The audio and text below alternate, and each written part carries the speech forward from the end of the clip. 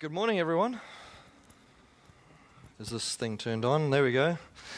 Good morning, how are you? Not so sure. All right. Now, before I carry on, because I'm not here every week, this is actually my first week here with you in 2014, I need to know have you been introduced to our new teacher? You have? I know she's going red. I'm embarrassing her right now. She's like a good teacher. She's right up on the front row. And we're glad to have you, Alexandra. Thank you. Do you want to stand up and just complete the embarrassment for us? All right, there we go. There we go. She's joined us uh, this year. She's teaching at our Adventist uh, primary school here and uh, has got the new entrance and, and a few years beyond that too, right? So we're glad to have you on the team. Thank you for being with us. And the friends, family, friends, friends that are with us as well. Thank you. Right, we're in uh, the Gospel of John this morning, John chapter 12. So please uh, join me in your, in your Bibles there. We're going to read a story together. A very interesting story that uh, comes, um, as all stories do, in a context. It comes as a direct follow on from the previous chapter. So in John chapter 11, what's our famous story that happens in John chapter 11? Do you know? Without looking. It's the resurrection of Lazarus, isn't it? It is, the, it is the great pinnacle of the healing ministry of Jesus. It's the one that cannot be refuted. You know, there have been other resurrections. There's, of course, been a string of healings before this. People who have been sick and they've been miraculously healed and turned around. But here is a story in John chapter 11 of a man who dies, is buried for four days, it's, it's unequivocal. No one can deny it. This man was not in a coma. He was not in a deep sleep. He was absolutely and completely dead. His body was decomposing. That's why Jesus waits, and uh, those four days, when you add them up, at least four, I think maybe even a touch more, but, but um, at least four days. This man, when he comes to the graveside, the family says to him, Don't roll away the stone. It's going to stink. So everybody acknowledged. And Jesus resurrects a man who's not just freshly died, but is decomposing. And he does that to sentence himself to death. I think that, what do you mean, Adrian? That's a, that's a strange, uh, strange thing to do. That was the outcome of what he did with Lazarus, and you're going to read that right now in John chapter 12, starting with verse 1.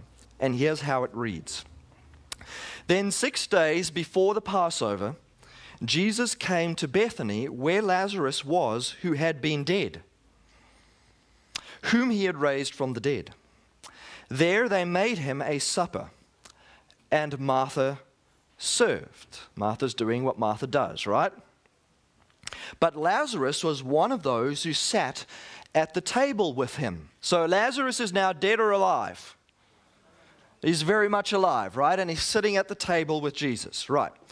Then Mary took a pound of very costly oil of spikenard, anointed the feet of Jesus, and wiped his feet with her hair, and the house was filled with the fragrance of the oil. But one of his disciples, Judas Iscariot, Simon's son, who would betray him, said, why was this fragrant oil not sold for 300 denarii and given to the poor? This he said, not that he cared for the poor, but because he was a thief and had the money box, and he used to take what was put in it. But Jesus said, Leave her alone. She has kept this for the day of my burial. For the poor you have with you always, but me you do not always have. Now, a great many of the Jews knew that he was there, and they came not for Jesus' sake only, but that they might also see Lazarus, whom he had raised from the dead. But the chief priests plotted to put Lazarus to death also, because on account of him, many of the Jews went away and believed on Jesus.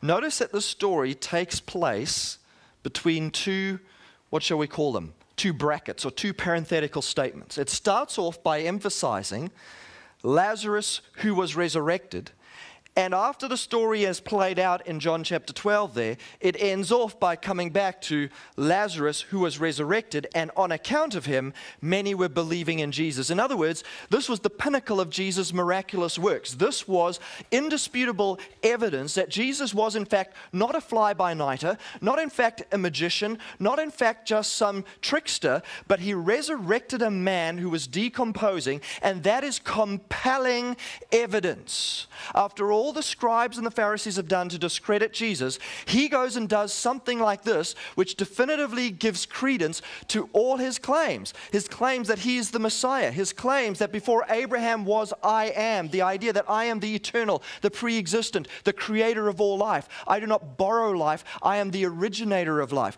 All those claims that almost got him stoned in the past are now verified by this action, this climax of action, where he resurrects a de- decomposing man. And the scribes and the Pharisees now want to kill Lazarus to put away that evidence and get rid of Jesus, who has stirred the people up with this evidence to believe in him. They are losing their power, they are losing their credibility. All their accusations are now exposed for what they are. They have been made. And they want to get rid of this. This is your atmosphere in which Jesus is walking around. this is the atmosphere in which he comes to church on a Sabbath morning, synagogue. This is, this is the stuff that was going on behind his back the whisperings, the cloak and dagger stuff, conspiracy to commit murder.